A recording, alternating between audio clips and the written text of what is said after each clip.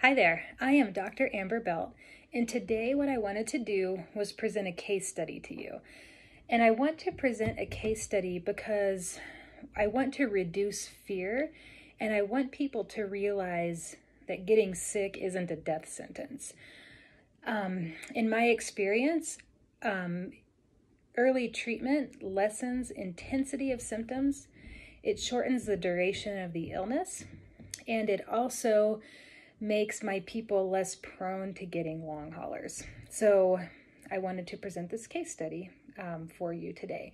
And my computer's right over there, and I want to make sure I'm accurate. So you're going to see me look over there to make sure I've got my, my story straight here. So um, this patient is in her mid 40s, and she is obese, and she caught a virus. And generally, with the particular virus that she contracted, for people who are obese and have other comorbidities, the outcomes um, are not good, or they're less likely to be good, I guess. So, this patient's symptoms started on January 9th.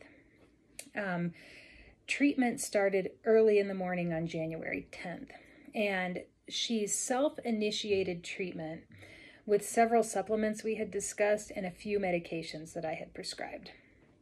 And then she and I had a consult via phone on January 11th. And these were her symptoms at the time. Um, she just she had a sore throat that she described as strep throat level sore throat. And if you've ever had strep throat, you know exactly what she's talking about. I've had strep throat once, and yeah, I still remember it, and I was 16 years old. Um, she had body aches.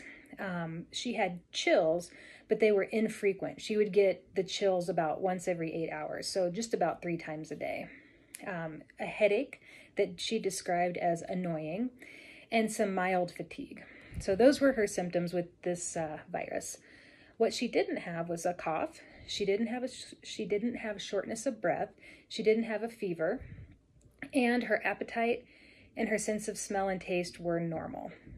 Okay, so what I did at the time after consulting with her, I added some supplements into the mix that were specifically for inflammation for pain and for fatigue. I wanted to support those systems um, in her body.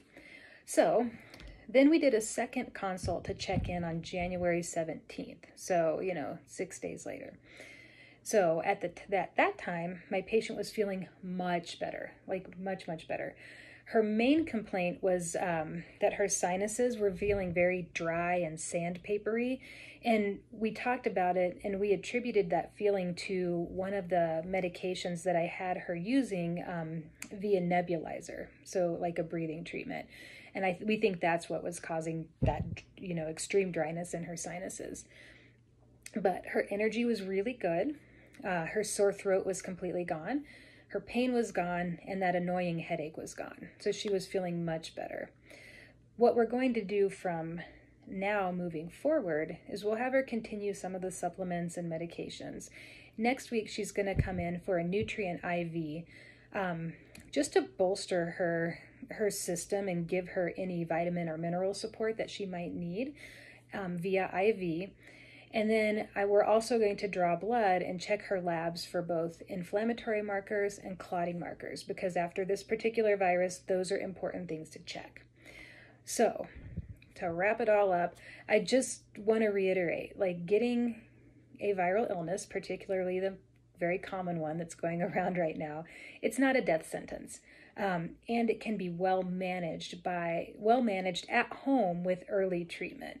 So, um, if you don't have a practitioner who's willing to help you with early treatment, it's definitely worth seeking out a naturopathic physician or a functional medicine practitioner you know, or other healthcare practitioner who can help you out with um, a plan for your early treatment.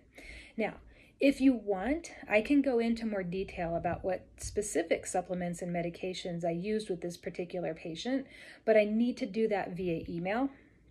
If you're interested in getting that type of email, I will definitely send it out, but you just need to either comment here or DM me so I know that people actually want that before I put in you know, hours of work on an email. I want to make sure that you want that. If you want to sign up for my email list, that's in my bio. Um, and that's it for today. Please uh, please feel free to share this. I'm going to put this up on my YouTube channel um, if you're watching this on Instagram so that you can share that link with whoever you'd like. All right, bye bye.